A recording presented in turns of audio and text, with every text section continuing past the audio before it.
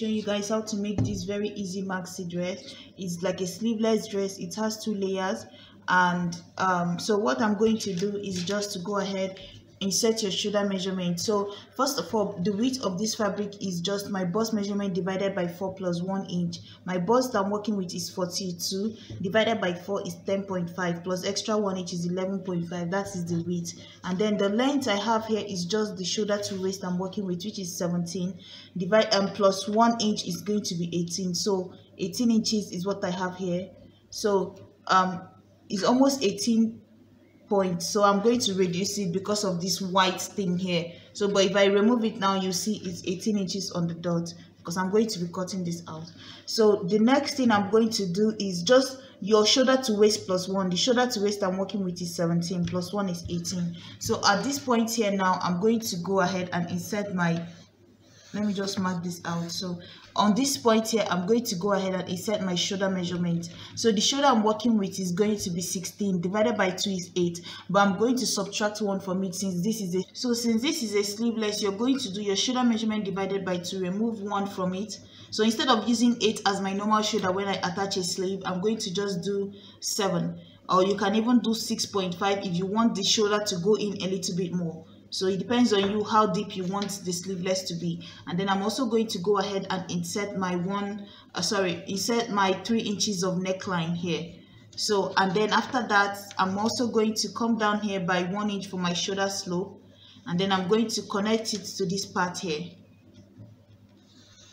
And then after that i'm going to come down here and insert my armhole which is going to be nine inches I um my armhole is 18 divided by 2 is 9 so that's how I got this here. I'm going to insert it here. Connect this with a straight line down to this point sorry. And then I'm going to give it a curve for my armhole here.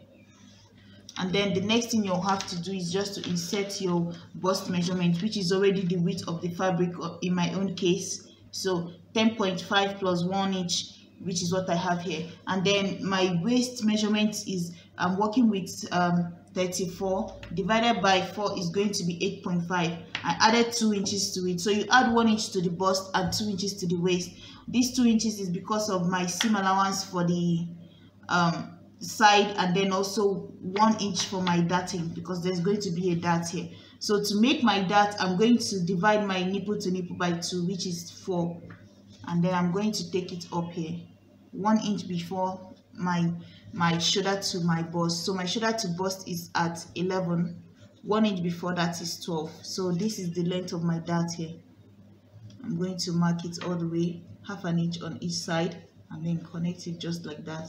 So this is basically my dart and then i'm also going to connect my bust to my waist so this dart here will be transferred on the four layers the two sides of the back and the two sides of the front. So i've notched it here. But like we always say the dart at the back is going to go up to the shoulder i'm sorry up to the chest line which is somewhere here.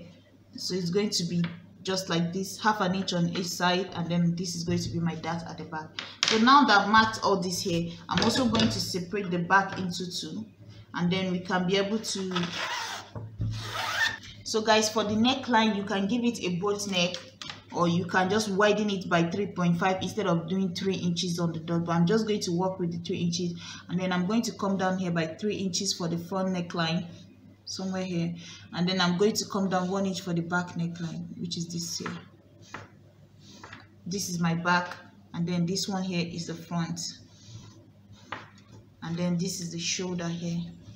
So i'm going to go ahead and cut this whole thing out now so guys as you can see i've cut this part out cut this out cut this out and then the front neckline. So this is basically my bodice here i'm going to set every other thing aside and then we're going to talk about the body of this dress. So the body here what i have here is just the the because as you can see this dress has three layers right? One layer stops just before your knee like maybe four inches before your knee or three inches before your knee. It depends on how you want to do yours but i'm doing mine like four inches before my knee. So my shoulder to the total length of my dress is going to be 56 my shoulder to my waist my shoulder to waist which is the body of this is 17 and then i want the first layer of this dress to be 18 inches right? So if i subtract this 17 from so so guys first i'm going to check for the shoulder to the waist which is this one the top bodice part. Like i said mine is 17 my total length of my dress here is 56 so i'm going to first subtract this 17 from this 56 what i got was 39 right? This 39 is now going to be the length of the bottom of my flare right? So this bottom of my flare will be split into two. Like i said the first layer of this flare is supposed to if you look at this picture here you will see that her own has the flare stops like the gather in this here is just above her knee like three inches or four inches above her knee. So i'm going to make mine 18 inches for the first layer. So i'm going to subtract 18 inches from this one here from this 39 so my my the second layer is going to be 21 inches. So the first layer is 18 the second layer is um 21 like we always do for all the tier dress you need half an inch to join this top and the bottom. So that means plus one inch for this 19 and then i need plus 1.5 added to this one to be able to fold the rough edge this whitish part and then one inch to fold this edge and then half an inch to join this. So one inch to fold this lower bottom of the finishing of the dress half an inch to join this half an inch to this part. So that means 1.5 added to the lowest layer. So in total the lowest layer length is going to be 22.5 and then this one added one inch alone because I don't need to fold the edge. I just need half an inch here and half an inch here. So that's why I only added one inch here. So I have 19 here. So the length I'm working with is 19 the length I'm working with here is 22.5 so after that you're going to determine the gather you're working with. So the gather I'm working with the first gather is going to be just round my waist gather which is 35 that we are working with. So I'm doing times 2 of 35 that is the um, width I have for this. So my, sorry, the waist I'm working with is 34. I'm doing times two of that for the first layer of my gather, which is this. And that's what I have here. And then the second layer, I'm doing the length, I'm doing whatever you get from that, I'm doing times 1.5 of that, right?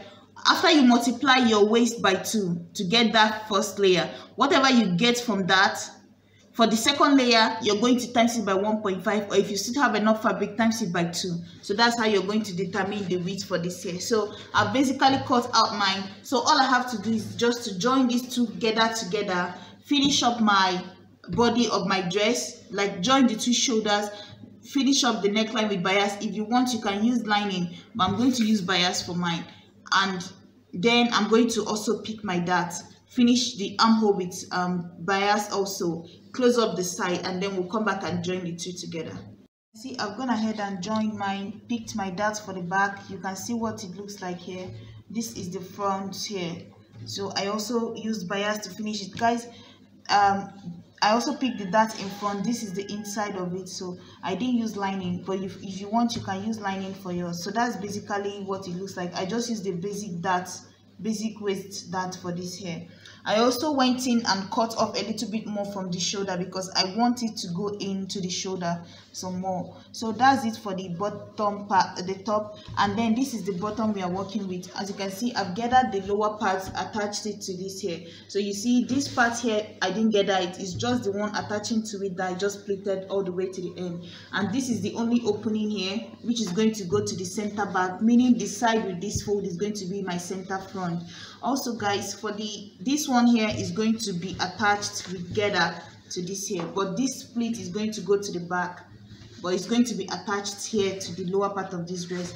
Also i'd like to remove after picking my darts some people do theirs before picking their darts but i find it easier to do it this way. So once i finish everything i've ironed it all i have to do is just to go back in here and then i'm going to go up here by one inch I like to go up here by one inch just to reduce the back length so that it my zip can lay better. So you see this is my side seam. So I just blend it into my side seam. From that one inch, I just like to blend it in. It makes the back of my dress look better and the flare like so my zip doesn't bulk up and then my flare doesn't drop at the back. So it starts right on my waist because sometimes you make it and you find that when you turn around it's like the back of the flare is dropping. It doesn't really look nice. So to bring up that gather to be right where my waist is at the back i like to cut off one inch but i blend it down going towards the side. So like an angle. I'm going to cut this part off now and then go directly and attach this to the body of the dress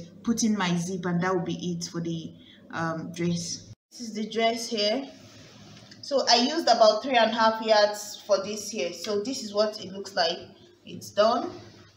And I also had some fabric left over so I decided to add like a, a belt to the waist.